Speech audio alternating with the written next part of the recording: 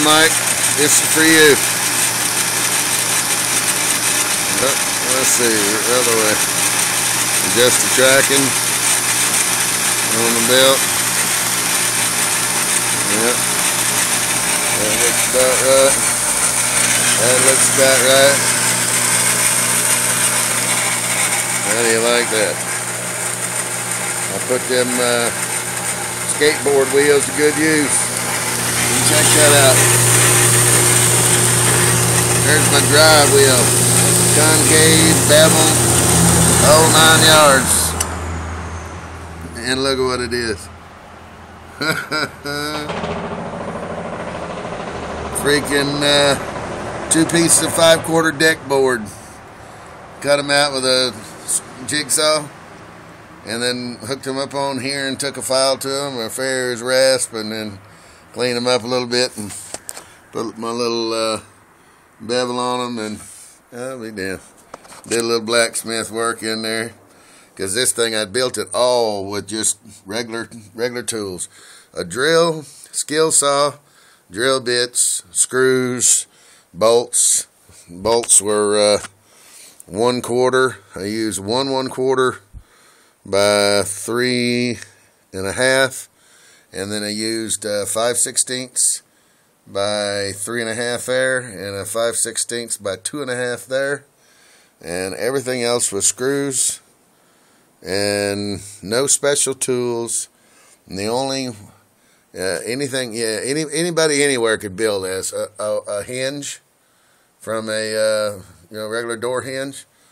And I decided since I did it with the crude tools anybody else would have I'd go ahead and I put that in the uh, forge and heated it up and flattened it out and curled it up a little bit. Actually, it hung down further, but I realized I needed more spring tension, so I just rolled some more of it up.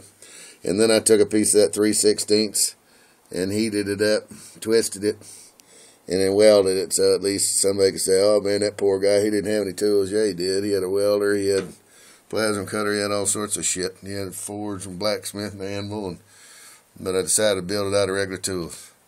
Uh, thought you'd like that. Let's see. uh. Yes, sir.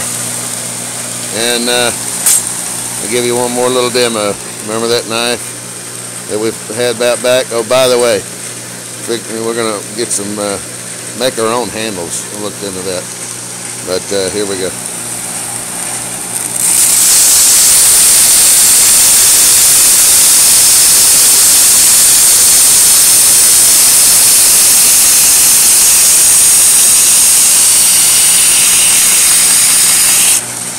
That's 120 grit.